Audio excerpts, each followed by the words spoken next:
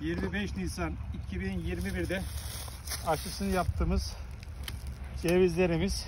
Buna 5 tane kalem takmışız. Maşallah 5'i de tutmuş.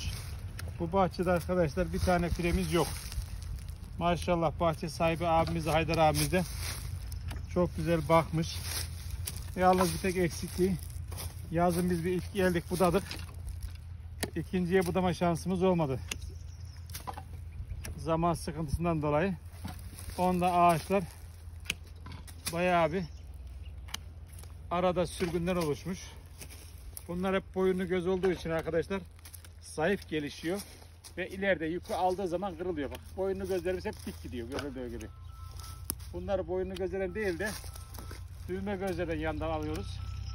Şimdi ben bunları hep kesiyorum. Nasip olursa ilkbahardaki budamamızda güzel bir şekil budaması yapacağız ve seyredeceğiz. Normalde bunların daha erken yapılması gerekiyordu. Şimdi seyretme yapamayız arkadaşlar. Çünkü ağaçlar fazla yere açtığımız zaman strese girecek. Ondan dolayı da bu şekilde kalacak. Hoşça kalın, sağlıcakla kalın.